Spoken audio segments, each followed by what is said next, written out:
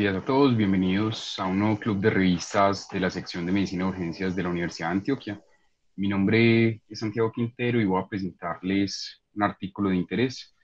en el tema de ayudas diagnósticas, específicamente gases arteriales. El objetivo de esta presentación es analizar los resultados del ensayo clínico Baynard y su impacto en las decisiones clínicas del médico especialista de urgencias.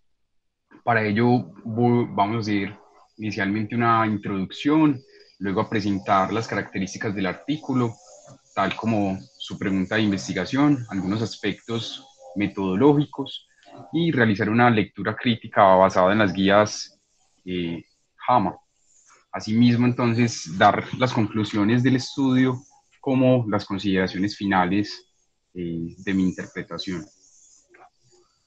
Inicialmente, entonces, es importante decir que los gases arteriales son una ayuda diagnóstica que, que han representado pues, un avance técnico incalculable para complementar la valoración de los pacientes, no solamente eh, de su estado metabólico, sino también de, de, su estado de oxigenación. Este es un examen entonces estándar que regularmente ordenamos para muchas patologías en los servicios de urgencias como en servicios de hospitalización. Es una ayuda diagnóstica ampliamente disponible, de bajo costo, que es versátil, que es confiable y que permite orientar decisiones todos los días. También es un examen frecuente, tanto es así que, por ejemplo, en nuestro hospital, la IPS, en enero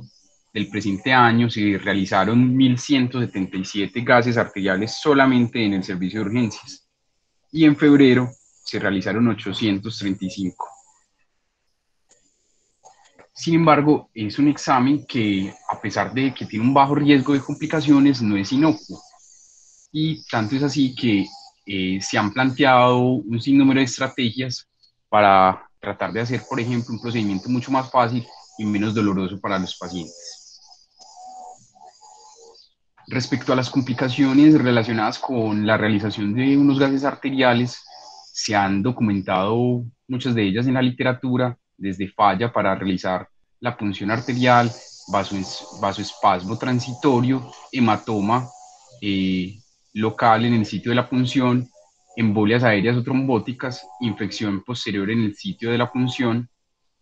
que se requieran múltiples punciones o que se requiera de otros operadores para realizar el procedimiento y complicaciones graves como las lesiones nerviosas, isquemia de la extremidad, pseudoneurismas, disección arterial y hasta un síndrome compartimental, como está publicado en este artículo del 2013, que es un artículo londinense, eh, donde a un paciente se le realizaron unos gases arteriales en el servicio de urgencias,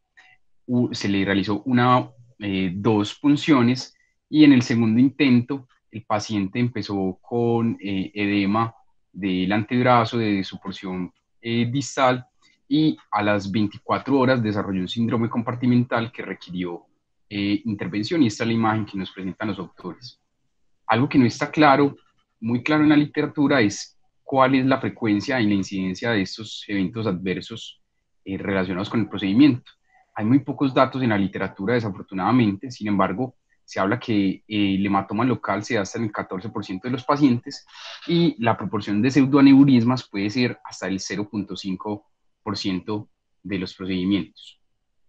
Y quedan aún más dudas, por ejemplo, respecto a cómo les va a pacientes que tienen alguna condición especial y se les realizan unos gases arteriales, como son pacientes muy longevos o pacientes, por ejemplo, que reciben anticoagulación terapéutica.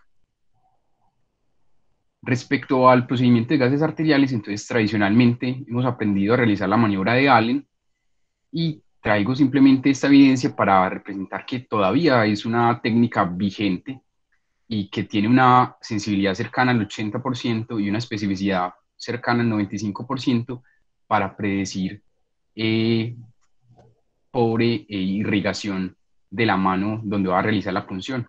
Tanto es así que una prueba de Allen negativa tiene un valor predictivo negativo muy bueno, cercano al 98%, para predecir que ese paciente no eh, tiene una buena circulación colateral de la mano. Y fuera de las complicaciones, entonces también es importante anotar cuál es la correlación de los parámetros respecto a qué sitio se toma la muestra de los gases arteriales, ya sea como tradicionalmente se hace de un vaso arterial o si es un vaso venoso. Respecto a las presiones de oxígeno, pues entonces lo esperable es que haya una muy pobre correlación, una diferencia promedio eh, de casi 40 milímetros de mercurio con unos rangos en los que se mueve esa diferencia muy amplios. Asimismo, con la presión de dióxido de carbono, esa diferencia, a pesar de que es un poco más estrecha, apenas 6 milímetros de mercurio, cuando uno va a ver el intervalo de esa diferencia media, puede ir desde menos 18 a más 24, que es un intervalo exageradamente amplio para predecir el comportamiento de la presión de dióxido de carbono en, en unos gases venosos. Sin embargo, valores como el pH diferentes entre una muestra arterial y una muestra venosa tiene una correlación muy aceptable. Aquí entonces el resultado de este metaanálisis del 2014, en donde reúnen 18 estudios y ellos encuentran que la diferencia promedio entre unos gases arteriales y unos gases venosos es de 0.03 unidades. Y el intervalo en el que se mueve esa diferencia es muy estrecho y es muy cercano a un valor que puede llegar a ser útil para nosotros en la clínica. Y en contextos específicos, por ejemplo, como en el de la cetoacidosis diabética, hay tres estudios observacionales que también demuestran que es aún más estrecha esa diferencia y es apenas de 0.02 con un intervalo entre ellos también muy estrecho, pues de menos 0.0009, probablemente pues sea un valor decimal casi que ignorado. Quiere decir que entonces la diferencia entre ambas muestras es muy poca casi nula.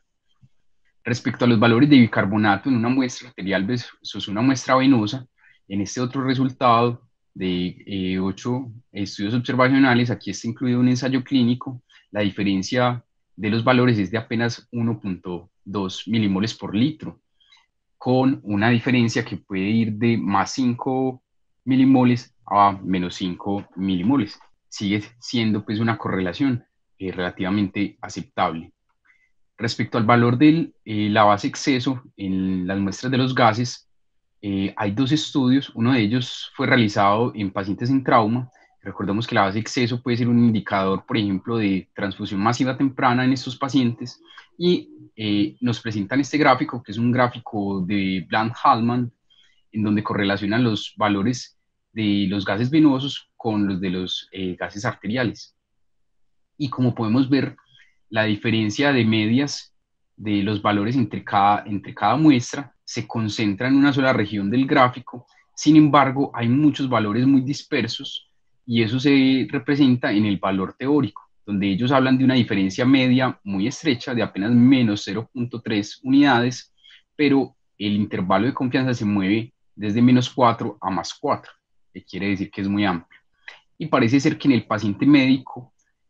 con patología médica esa diferencia sigue siendo muy poca y ese intervalo sí se mueve en rangos mucho más aceptables, apenas de casi de menos 1 a más 0.5,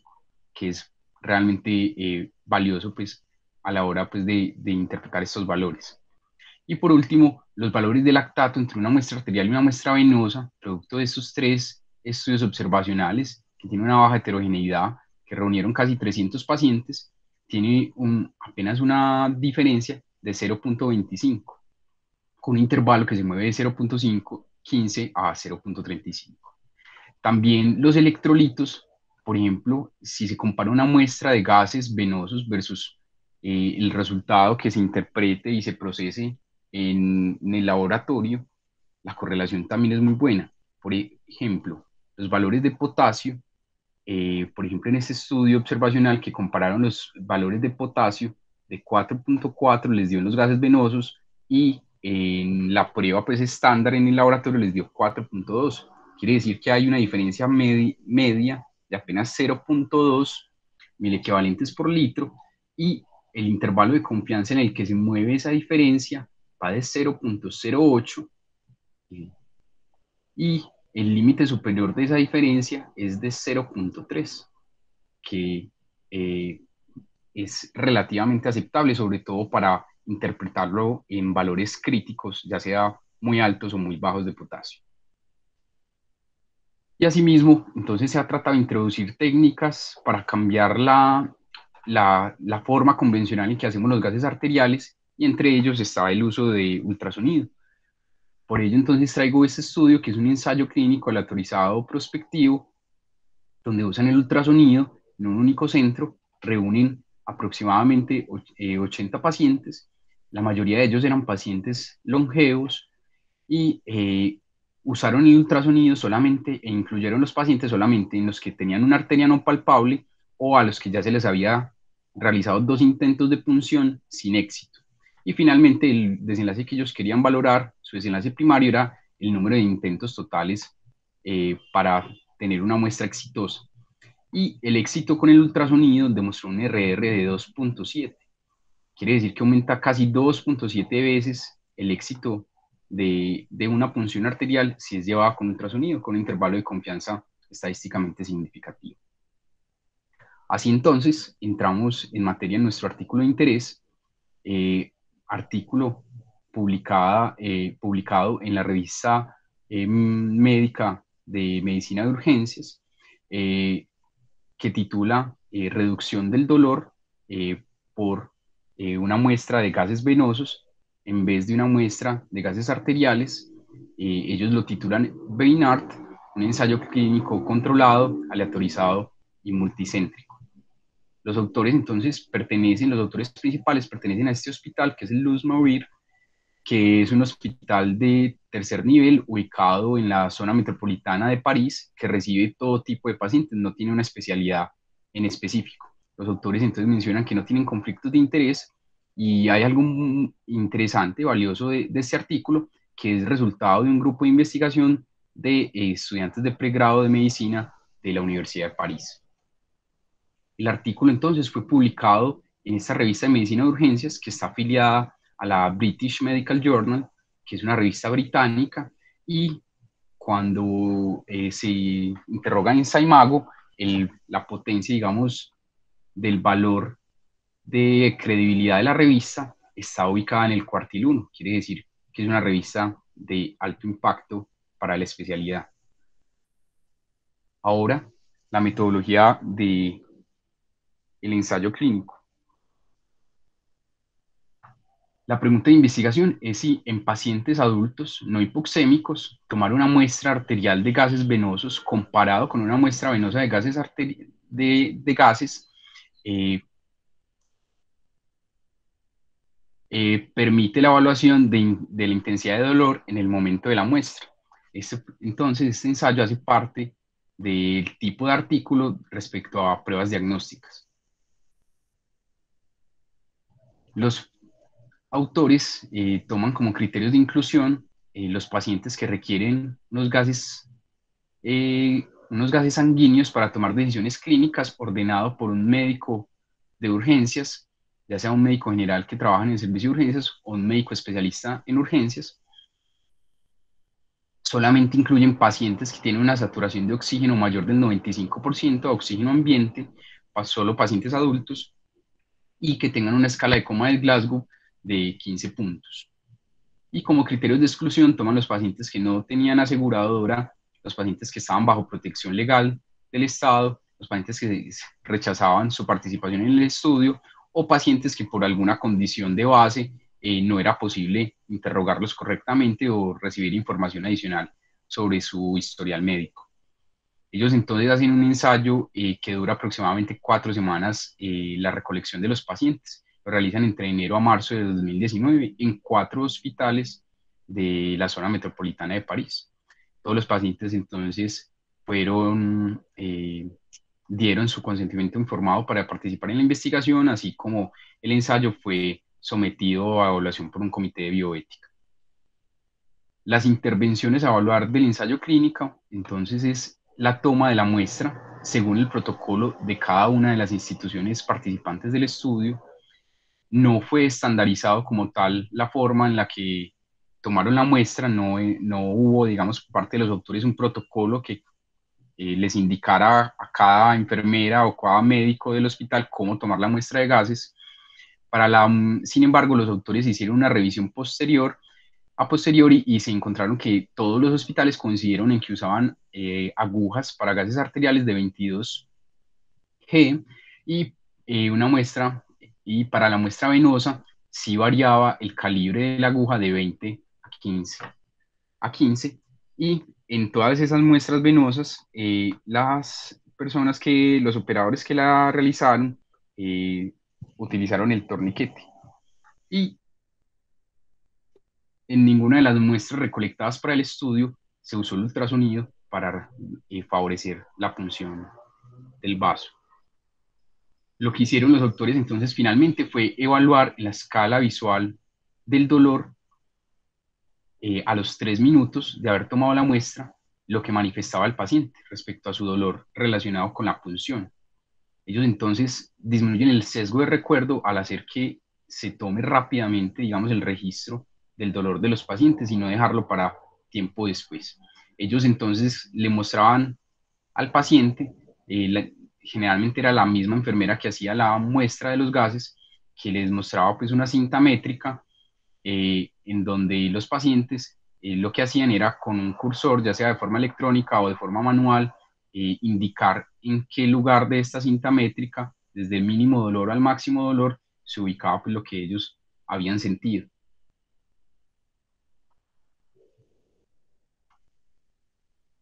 Ellos entonces realizan un registro electrónico donde la información entonces era obtenida principalmente del equipo de enfermería, que eran los que tomaban la muestra e interpretaban el dolor de los pacientes, o registraban más bien el dolor de los pacientes, y eh, también de los médicos que anotaban pues otro de, los desenlaces que ya les voy a presentar. Y eh, ellos se basaron en una escala de Likert, que la escala de Likert es una escala eh, muy simple que para demostrar, para calificar pues el desenlace del equipo médico. No hubo pues otras intervenciones ni co-intervenciones a evaluar pues en el protocolo.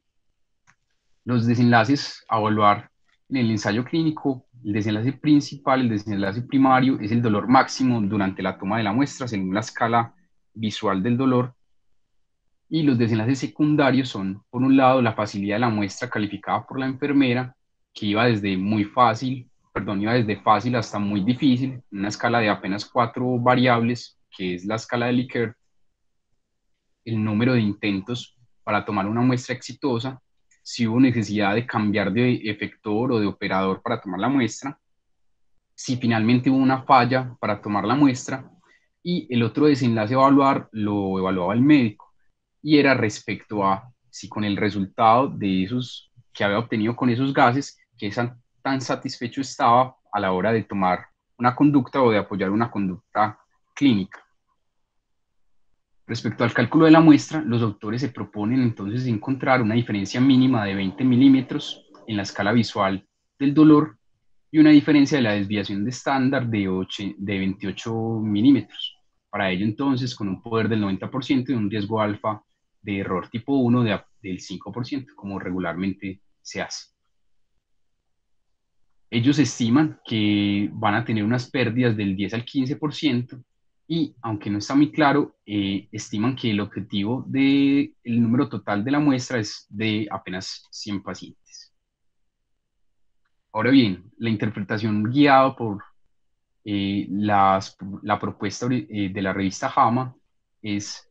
inicialmente qué tan serio es el riesgo de sesgos en este ensayo clínico. Y la primera pregunta es, ¿fueron aleatorizados los pacientes? La respuesta es que sí, los pacientes, todos los pacientes que fueron ingresados al servicio de urgencias, que a los que se les prescribía obtener una muestra de gases, eh, después de haberlos sometido a los criterios de inclusión y exclusión y haberlos sometido al consentimiento informado, fueron aleatorizados. Y para ello se aleatorizaron en dos brazos, en, en un brazo que ellos llaman el grupo venoso y en otro brazo que ellos llaman el grupo arterial. Eh, la, la, aleatorización de los pacientes fue eh, computacional, fue realizada por bloques aleatorios en una relación uno a uno. Para ello, entonces, finalmente ellos obtuvieron después de la aleatorización 58 pacientes en el grupo venoso y 55 en el grupo arterial. La segunda pregunta es, ¿qué tipo de cegamiento tuvo el estudio? este, como lo mencionan, eh, aunque no lo mencionan en el título, vale la pena eh, mencionar que es un estudio abierto. Quiere decir que tanto los sujetos que participan en la investigación eh, como los investigadores conocen cuál es el tratamiento o la intervención que están recibiendo. Y aunque, y aquí hay que anotar que desafortunadamente este tipo de, de cegamiento debería ser el ideal sobre todo cuando se van a evaluar desenlaces objetivos, o sea, algo que se pueda cuantificar o que sea un desenlace objetivo, diferente a como hicieron en este protocolo, en este ensayo, que se evaluó pues un desenlace desafortunadamente subjetivo. La tercera pregunta es si han tenido en cuenta adecuadamente todos los pacientes incluidos en el experimento y se los ha considerado en la conclusión. Entonces, eh, la respuesta es Parcialmente sí, porque hubo un paciente que no fue posible tomarle la muestra porque no se palpó eh, la, arteria. Sin embargo, eh, dado que hubo múltiples intentos de punción, los autores incluyeron este paciente en el estudio, eh, a pesar de que no se registró cuál fue su valor en la escala visual del dolor. Y eh, cuando ellos separan los pacientes por el análisis de intención a tratar,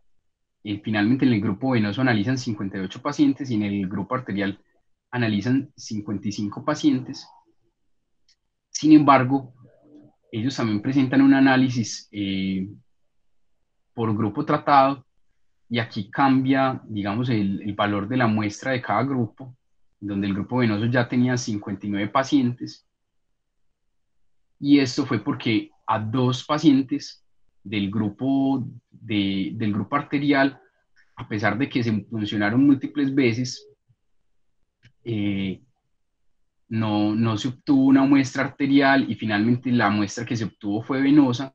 Entonces uno de ellos se quedó en este grupo de venoso, porque al final se consideró que la muestra era venosa, y eh, el otro, eh, finalmente, a pesar de que no se obtuvo no se pudo obtener una muestra, fue, eh, se quedó en el grupo arterial, no, no se pudo obtener ninguna muestra de ningún tipo, pero se le evaluó la escala visual del dolor.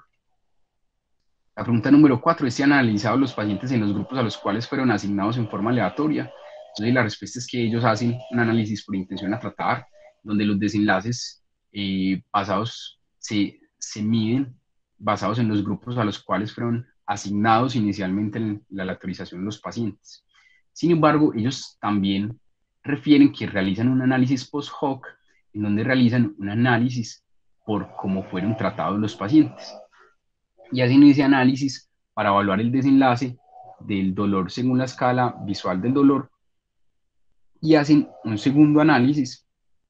ajustado por variables que tratando de balancear las variables sociodemográficas del estudio. Este análisis por cómo fueron tratados es donde eh, quiere decir que finalmente los pacientes se analizaron en el grupo en el que no necesariamente fueron aleatorizados originalmente, sino finalmente en el grupo en, en, en el grupo en donde finalmente donde realmente recibieron la intervención. Quiere decir, estos pacientes del grupo venoso, a pesar de que aquí como cambió la muestra con ese paciente adicional, a pesar de que no fue aleatorizado originalmente para ese grupo, finalmente lo que recibió ese paciente fue unos gases venosos. Por lo tanto, pues, eh, por eso es que los autores usan este método. Sin embargo, se supone que este método es el que menos se aleja a, la realidad, por eso pues tiene eh, digamos, menor valor eh, desde el punto de vista estadístico que los otros tipos de análisis. La quinta pregunta es si el seguimiento fue completo. Afortunadamente, el seguimiento para evaluar los desenlaces en los pacientes fue completo y finalmente los autores obtuvieron 0% de pérdidas. Y la sexta pregunta es si el ensayo se detuvo anticipadamente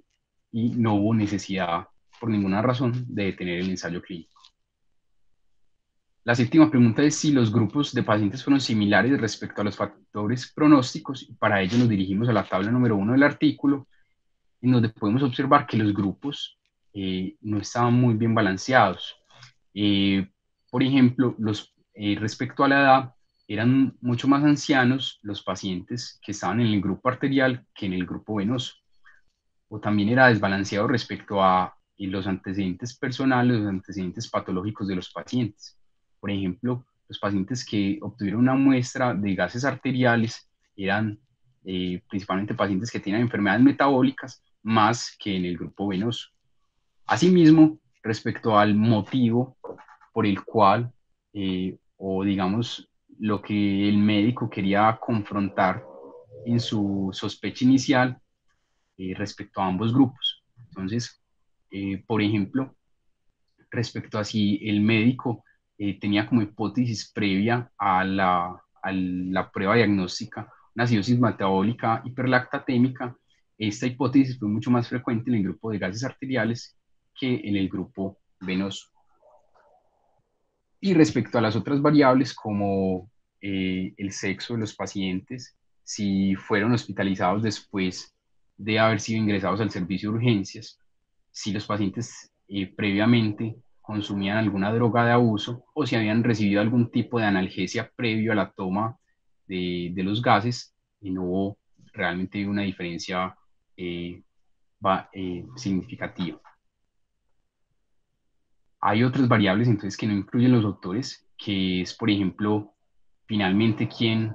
eh, qué experiencia tenía la persona, por ejemplo, que había tomado los gases o qué experiencia tenía la persona que había interpretado los gases arteriales, que eso también está claro en la literatura, que hay una concordancia respecto a la experiencia y al diagnóstico correcto y, y la interpretación de unos gases.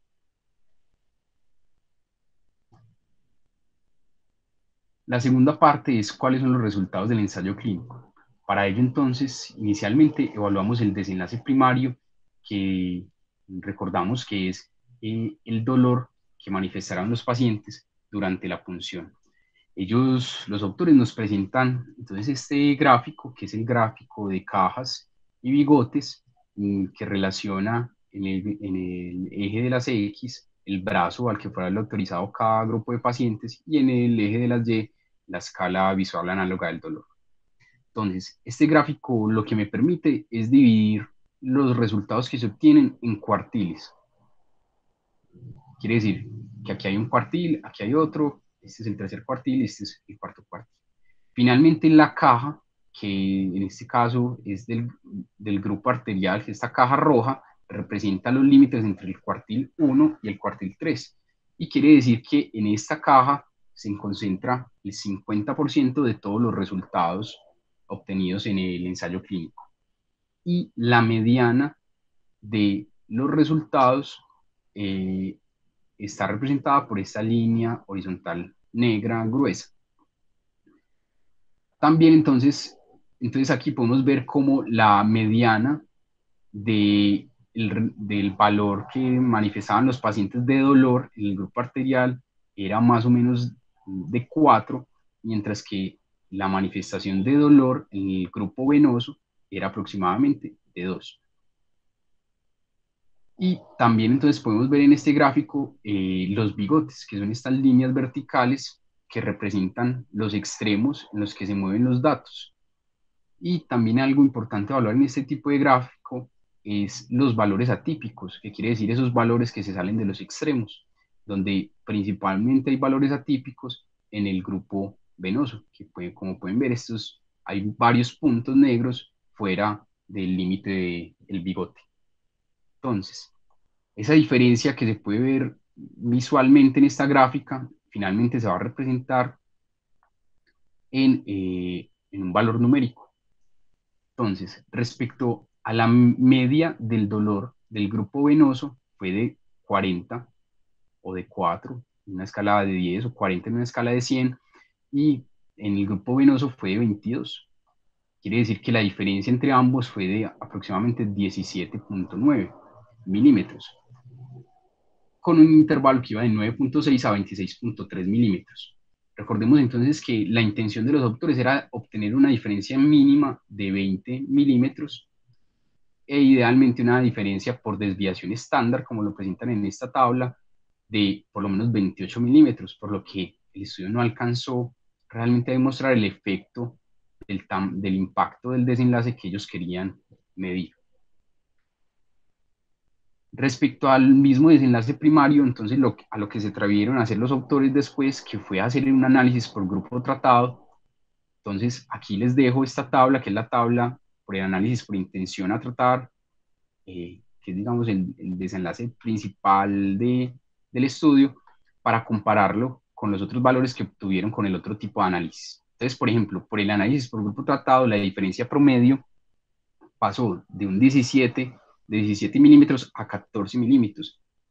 aún más alejada de eh, los valores que los, que los autores pretendían obtener. Y cuando hacen un análisis por balancear los grupos, por esas variables sociodemográficas que les mencionaba, ajustando los grupos por antecedentes personales, por la edad o por la hipótesis diagnóstica, la diferencia que obtienen es similar al análisis original por intención a, tratar de 17.5 milímetros. Sin embargo, nuevamente fuera del objetivo eh, original del estudio. Y respecto a los desenlaces secundario, secundarios, entonces tenemos que la diferencia entre eh, el número de intentos realizados a cada paciente, entonces aquí está, por ejemplo, entonces en el grupo arterial, los pacientes que finalmente obtuvieron se obtuvo la muestra por una punción única, fueron 44, y por punción única fue en, en, el grupo venoso fue de 53. Sin embargo, cuando comparaban estos grupos por número de punciones, no hubo, digamos, una diferencia representativa ni en, ni en el intervalo de la diferencia, ni en el valor de P que, que los autores plantearon inicialmente, que era de 0.05 como significativo, menor de ese valor. Sin embargo, podemos observar que hay una tendencia a que en los, las muestras de gases venosos es, fueron necesarias menos funciones para obtener finalmente la muestra. Respecto a cambiar de operador a la hora de tomar la muestra, no hubo diferencias en los grupos. Respecto a la falla, en, a la, en la falla, pues ya al final pues, de decir, no, no fue posible definitivamente tomarle los gases a este paciente, tampoco hubo una diferencia significativa. Y respecto a la facilidad manifestada en lo que les hablaba la escala de Likert por las enfermeras, que era principalmente el grupo que había tomado las muestras, solamente una diferencia que se acercó a, a, lo, a, lo estadísticamente significativo respecto a, a, a, lo que ellas mencionaban o ellos mencionaban como una muestra fácil de tomar. Y aquí podemos ver que en el grupo venoso hubo 40 muestras que se consideraron que fueron fáciles de tomar, mientras que hubo 24 del grupo arterial que se consideraron fáciles de tomar. Y respecto a las otras eh, calificaciones, a la hora pues, de, de calificar la, perdón por la redundancia, de calificar la facilidad de la toma de la muestra, no hubo realmente una diferencia eh, cercana y todos los valores pues tuvieron un amplio margen eh, de su intervalo finalmente. Respecto a, otro, a la otra parte del desenlace secundario, que era la satisfacción que tenía el médico, ya sea el médico general que trabajaba en urgencias o el médico especialista en urgencias, respecto a esa escala de Likert, desde que iba desde muy satisfecho hasta no satisfecho, eh, no hubo diferencias respecto a podemos ver no, realmente una buena diferencia entre los grupos que se sentían muy satisfechos respecto a cada grupo, aunque parecía ser que eh, se sentían un poco más satisfechos los médicos que interpretaban los gases venosos que los arteriales, pero como acaba de notar también desde el punto de vista estadístico, no fue algo significativo. Ahora bien, la tercera pregunta que nos propone la guía JAMA es cómo aplicar los resultados al cuidado de mis pacientes. Esa primera pregunta es, ¿los pacientes son similares a los nuestros? Al parecer sí. Por ejemplo, si los comparamos con eh, nuestro hospital de referencia, eran también pacientes longevos, pacientes con múltiples comorbilidades. Eh, había, pues, un, aunque era frecuente, era poco habitual que los pacientes, por ejemplo, fueran abusadores de, drogas intravenosas. Por lo tanto, pues yo considero que sí son similares a los que nosotros vemos regularmente. La otra pregunta es si se han considerado los resultados clínicamente importantes. Entonces, aquí, tal vez con una menor fuerza, puedo decir que sí quedaron clínicamente, quedaron esos desenlaces, ahí, fueron elegidos pues, por los autores como importantes, como por ejemplo el dolor, que fue su desenlace principal, que es una variable muy importante, ya sea para medir, eh, eh, ya sea pues para cumplir las buenas prácticas de manejo clínico o pues eh, algo pues no hay nada, no hay nada pues más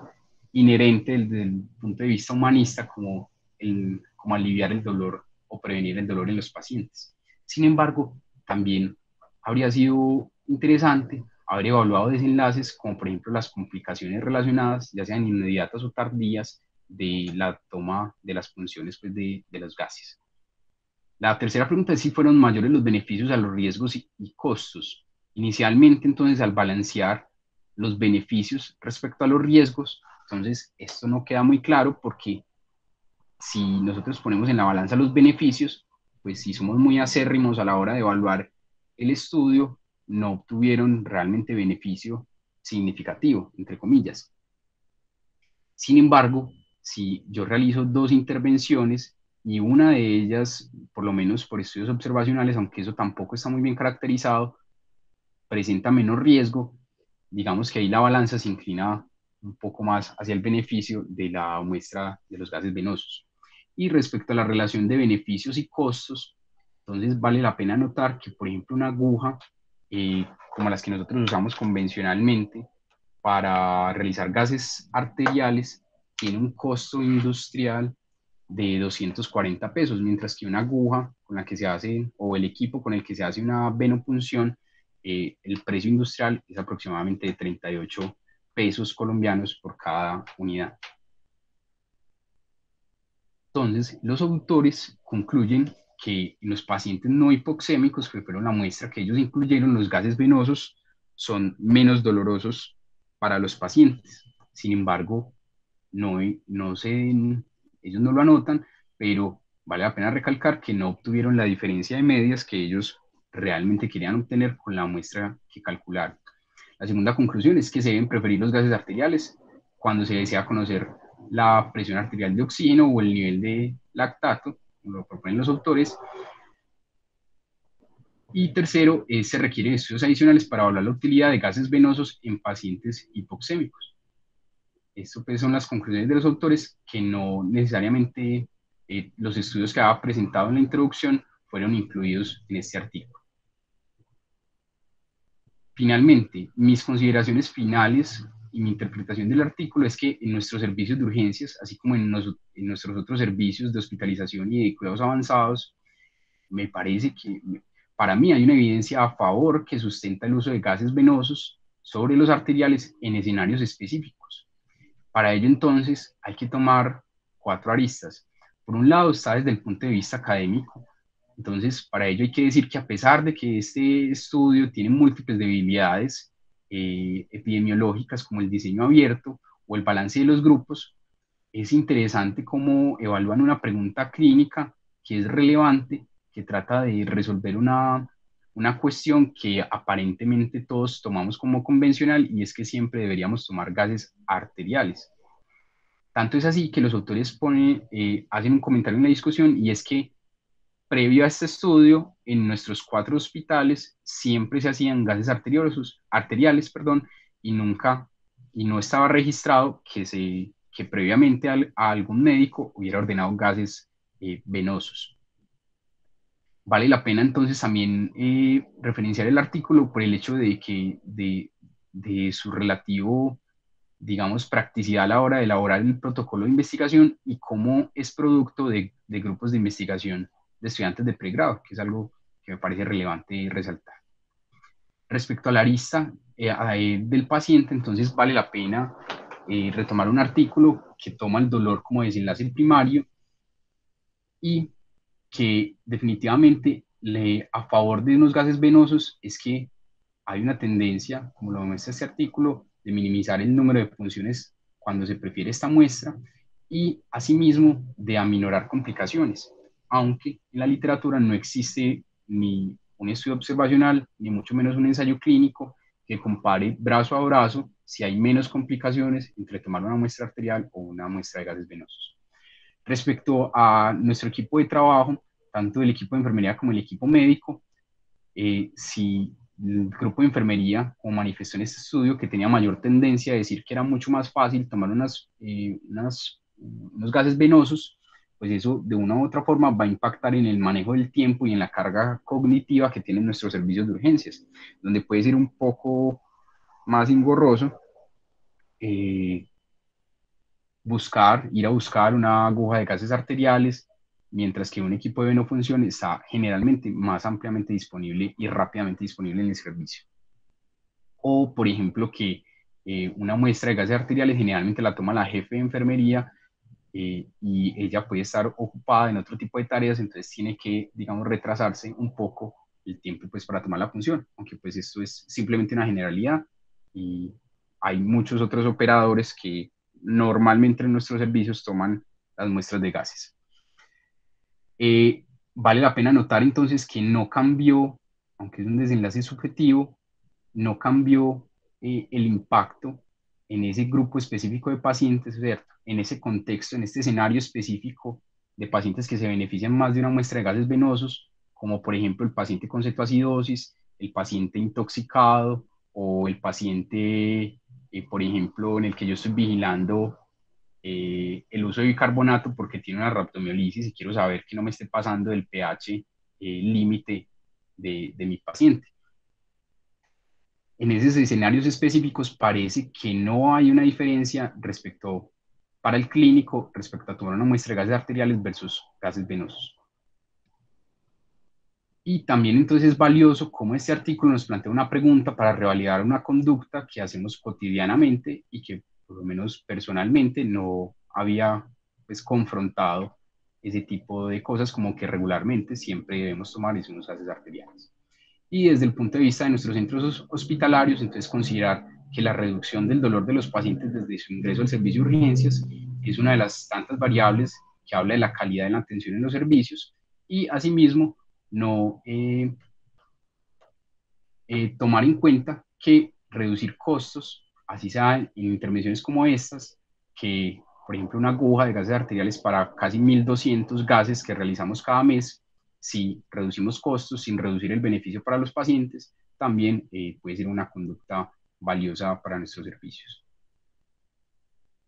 De antemano, pues muchas gracias, especialmente al doctor Carlos Vallejo, que fue el asesor para la presentación de este ensayo clínico. Santiago, buenos días, muchas gracias por la presentación. Eh, quisiera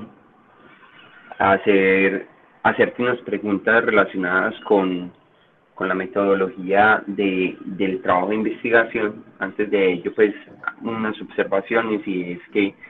como tú mencionas al final de la exposición, eh, uno de los pilares en la calidad de la atención en salud, específicamente en urgencias, es los desenlaces centrados en los pacientes. Y entre los desenlaces centrados en los pacientes, la confortabilidad es uno de ellos y eh, dentro de este pues el, el, dolor y la experiencia eh, de dolor en, en los pacientes pues siempre va a ser un desenlace significativo y que debe ser eh, evaluado y muchas veces olvidado dentro de, de nuestro quehacer. Eso pues digamos que como observación. Tenemos que buscar permanentemente el, los buenos desenlaces en los pacientes y este ensayo clínico es una eh, es, un aporte pues como a, a, esa línea. Eh, quisiera preguntarte qué crees dentro de lo que evaluaste eh, tanto en la en esa tabla 1 que mencionaste, donde muestran que los, eh, los estudios, los, los, grupos de, de, de, los pacientes están desbalanceados. y adicionalmente a eso, en las gráficas que mostraste que pudo haber afectado el desenlace final y no haber encontrado la diferencia que ellos plantearon.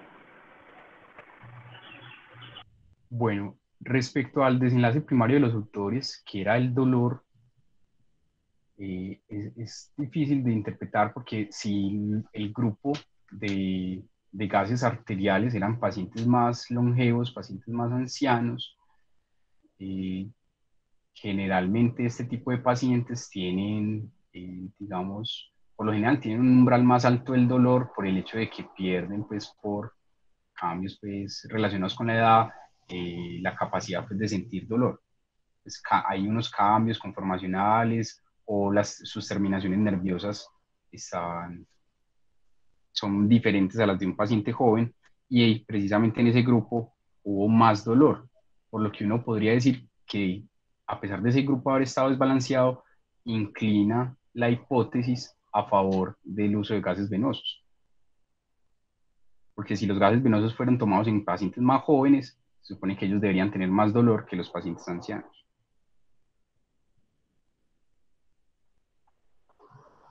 Hay, hay un dato que me parece muy importante que mencionaste en la gráfica de cajas y bigotes y me gustaría que por favor te devolvieras un segundito a ella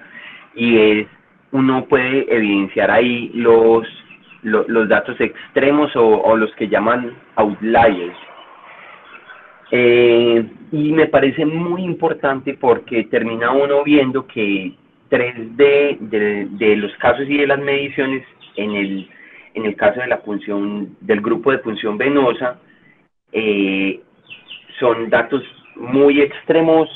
hacia eh, un alto, una alta medición de la, de la escala visual de dolor. Y miras que el resto de los datos se concentran principalmente eh, por debajo de, de 6 aproximadamente, o 60, 60 milímetros en la, en la escala en la escala visual análoga de dolor. Entonces, eso es muy importante y es, y si quisiera uno que los autores en, en, términos y en aras de la discusión nos contaran qué pudo haber pasado con estos tres casos, porque mira que el resto de los casos se concentran en la parte baja de la gráfica eh, y en la caja que mencionaste, y esos tres casos pudieron haber eh, incidido de forma tal en el resultado de la media medida de la escala visual análoga que hubiera generado el resultado final. Sí, entonces sí le hubiera gustado uno bastante que lo hubieran discutido, eh, pero no lo, no lo veo. En la de punción arterial uno ve distribuido todos esos, digamos, datos extremos por toda la línea, por toda la línea desde, desde arriba hasta abajo. Cambio, en este caso, esos tres están concentrados en la parte de arriba y eso recuerden que si usted está haciendo, eh, eh, eh, digamos, estimando el resultado en, en, media, mediana o incluso en modas, esto puede afectar bastante el resultado. Entonces, si le hubiera gustado a uno que, que por lo menos discutieran qué pasó con esos, con esos tres casos ahora, recuerda que hay, hay, hay tres eh, propósitos en, la, en, en, la, en los ensayos clínicos aleatorizados. ¿Cuál fue el propósito de este ensayo clínico aleatorizado?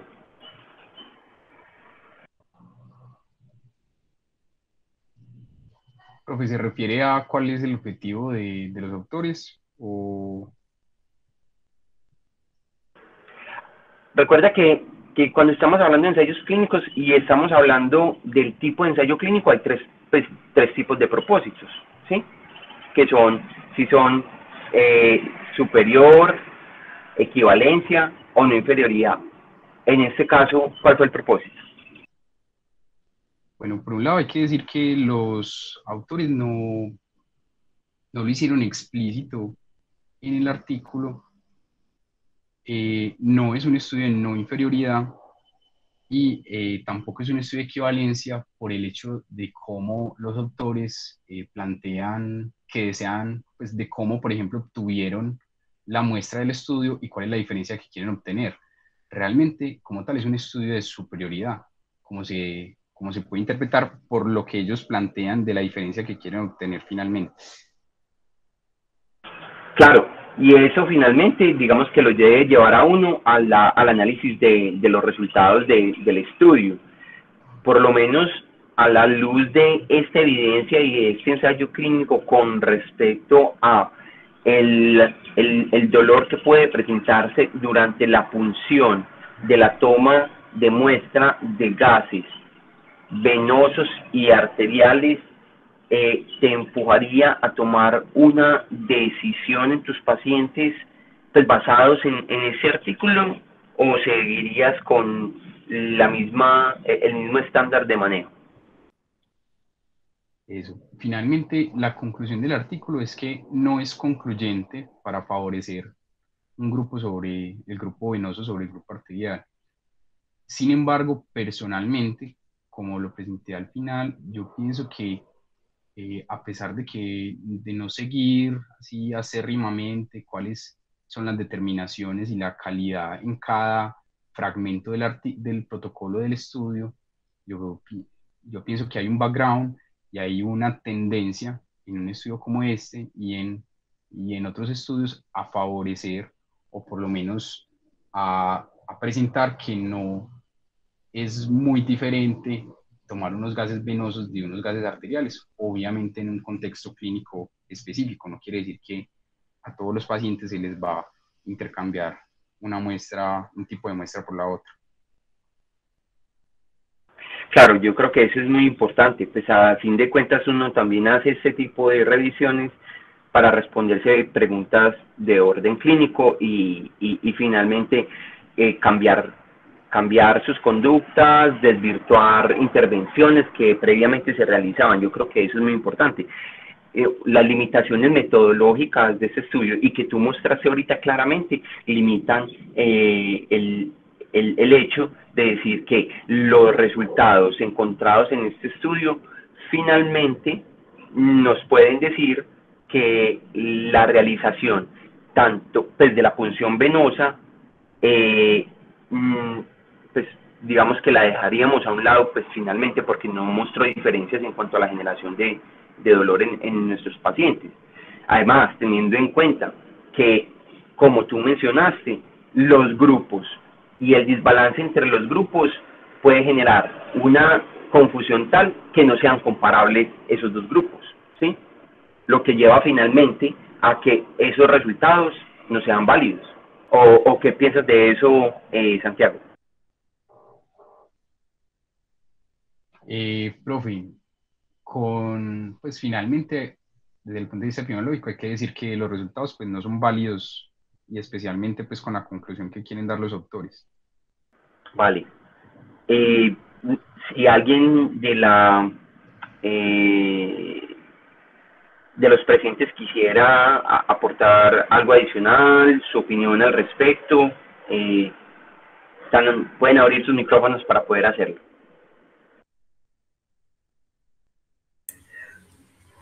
¿Aló? Eh, Santi, ahí se escucha. Sí, señor. Eh, sí, evidentemente el, artículo tiene, pues, podríamos decir, serias condicionantes en la elaboración y, y, pues, y se evidencian los resultados, ¿cierto? Pero hay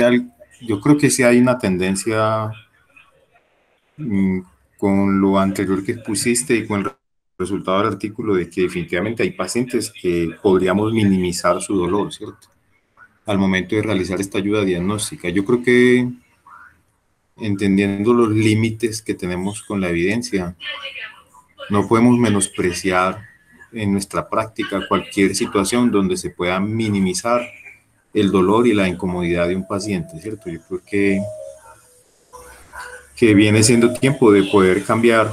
eh, ciertas conductas al momento de tomar los gases y, evidentemente hay pacientes que no tienen problemas de la oxigenación y que el resultado que obtengamos nos podría ayudar a monitorizar adecuadamente determinadas situaciones, ¿cierto? Eh, por ejemplo, cetoacidosis diabéticas, ¿sí? O, o un pacientes eh, en, en, acidosis, pero que no, porque evidentemente no tenga un trastorno de la oxigenación como tal y que el lactato eh, no lo vayamos a tener pues, tan en cuenta pues, en, al momento de tomar cierta decisión, ¿cierto? Eh, yo pensaría que si hay pacientes que se beneficiarían de esta conducta y que no, no lo podemos ignorar, ¿cierto? Bueno, ¿algún otro comentario adicional? Hola. Daniel, pues yo creo que incluso más que, pues ya con todos, digamos, los problemas de orden metodológico que tiene ese tipo de estudios, yo creo que más incluso que el mismo estudio, lo que de pronto nos deja como un valor importante en esta presentación fue toda la revisión previa que hizo Santiago, donde como dice el profe Barros, efectivamente se ve que hay condiciones y ciertas patologías donde los pacientes pues no es beneficiarse, pero dice podrían disminuir riesgos o incluso inconformidad con la toma de esta muestra. Entonces yo creo que, que eso me pareció muy relevante, toda esa revisión que hizo Santiago previa para poder sacar como esas conclusiones antes de, de lo del estudio, pues que digamos que sí tiene varios problemitas. Y ahí agregando algo, mmm, no está de más, Santi, eh, en la revisión que presentaste, por ejemplo, el sitio de la toma de los gases, ¿cierto? Que es una discusión que eso también ha, se ha generado en los últimos años con, con la evidencia de resultados bastante malos, ¿cierto? No es lo mismo si se toma en radial, si se toma en la humeral, si se toma en la femoral. Personalmente, mmm, el sitio humeral yo lo evito al máximo, me parece de muy alto riesgo. Y es de anotar que en nuestra, de, en nuestra práctica tuvimos una vez una complicación muy seria. Eh, con una punción a ese nivel. Entonces,